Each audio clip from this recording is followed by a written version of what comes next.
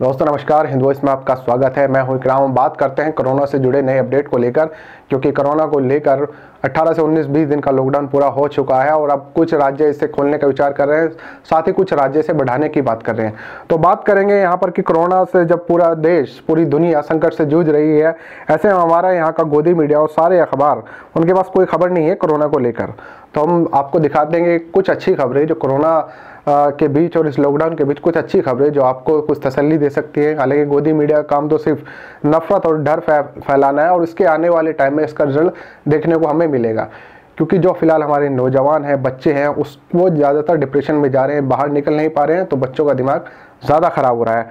तो उसकी वजह से लेकिन मीडिया उस पर कोई ध्यान नहीं है, उसे तबलीग और जमात के नाम पर एक प्रोपोगेंडा फैलाने के लिए एक मौका मिला हुआ है और दो हफ़्ते से उसमें लगा हुआ है।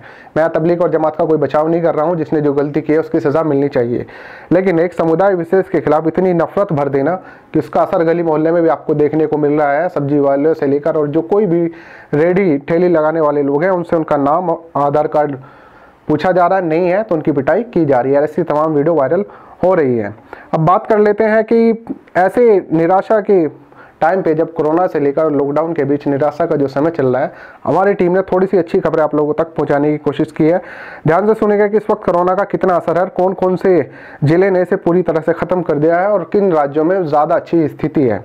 तो शुरुआत करते हैं। तो हम आपको ऐसे शहर की तरफ़ लेके चलते हैं, जहाँ पर कोरोना का असर सबसे पहले देखने को मिला और उन शहरों ने किस मॉड्यूल को लेकर काम किया और उसकी रोकथाम के जो उपाय उन्होंने किए, उससे कोरोना वहाँ बिल्कुल खत्म हो गया है। तो सबसे पहले यहाँ बात कर लेता हूँ, फरवरी उनतीस मार्च और छह मार्च के बीच यहाँ पर एक केस आया था, पठान मीठा एक जिला है केरल के अंदर। यहाँ पर एक केस आया तो यहाँ पर वह एक मॉड्यूल का इस्तेमाल इन्होंने किया है, जिसे आज के टाइम में केरल का मॉड्यूल कहा गया है। तो वामपंथी सरकार यहाँ पर चल रही है उन्होंने इस तरह से काम किया कि आज के टाइम पे वहाँ पर एक भी केस देखने को नहीं मिल रहा है। उसी तरह भीलवाड़ा, राजस्थान में, जहाँ पहले 26 मार्च को 17 केस दर्ज हुए, लेकिन वहाँ उन्होंने पूरे ज़िले की इस तरह से घेरबंदी की, ट्रांसपोर्ट बंद कर दिया और पूरी तरह से सैनिटाइज किया और आज वहाँ एक भी केस दर्ज नहीं हुआ। इसी तरह यूपी के आगरा को लेते हैं, और ये आगरा एक शहर ऐसा है जहाँ पर ताजमहल है, लाल किला है, और वहाँ पे लाखों की तादाद में रोज़ाना टूरिस्ट आते हैं, बाहर के आते हैं और अभी हाल फ़िलहाल लॉकडाउन से पहले दो लोग ऑस्ट्रेलिया के दौरे से यहाँ आए तो शक हुआ कि उनसे कोरोना हो सकता है। तो तीन किलोमीटर की घेराबंदी की गई, इस पूरे एरिया को सील कर दिया गया और एक लाख पैंसठ हज़ार घरों को सैनिटाइज किया गया। और पूरी तरह से वॉर रूम में उसको बदल दिया गया और उसका असर ये हुआ कि पाँच किलोमीटर के दायरे को लेकर जो वफर जोन बनाया गया तो फ़िलहाल आगरा जैसे शहर में संक्रमण ना के बराबर है। और तीन मॉडल ऐसे हैं जिन्होंने पूरे देश में ये एक मिसाल पेश की है, चाहे वो आपका पठान मीठा हो, केरल का, भीलवाड़ा, राजस्थान का और आगरा, यूपी का हो। तीनों में इस तरह से किया गया कि अब वहाँ पे जो संक्रमण है, वो ना के बराबर है। चले बढ़ते हैं लॉकडाउन से जुड़ी कुछ और खबरों की तरफ़।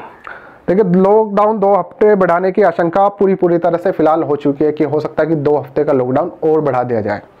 और ज़्यादातर जो राज्य के मुख्यमंत्री हैं, उन्होंने इसको हरी झंडी दी है। हरियाणा होम के मुख्यमंत्री हो, पंजाब के हों और दिल्ली के हों उन्होंने कहा कि लॉकडाउन को थोड़ा एक्सटेंड करने की ज़रूरत क्या है।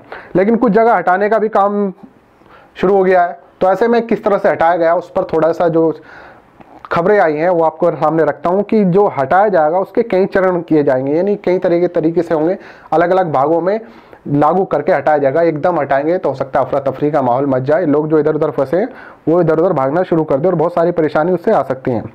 देखिए, देश में अभी जोन के हिसाब से जो लागू किया जाएगा, देश के 640 जिलों में से चार से छः ज़िले ऐसे हैं जहाँ कोरोना का एक भी रोगी नहीं पाया गया। तो उन्हें रखा जाएगा ग्रीन जोन पिहत्तर ज़िले ऐसे हैं जहाँ प्रकोप ज़्यादा है तो उन्हें रेड जोन माना जाएगा और बाकी ज़िले जहाँ कम मामले आए हैं, उन्हें ऑरेंज जोन माना गया है। यानी यह ज़्यादा है, उसे रेड जोन कहा जाएगा, जहाँ पे खत्म हो चुका है ग्रीन जोन और जहाँ पे थोड़ी संभावना है कि है नहीं है, वो ऑरेंज जोन में लागू किए जाएँगे।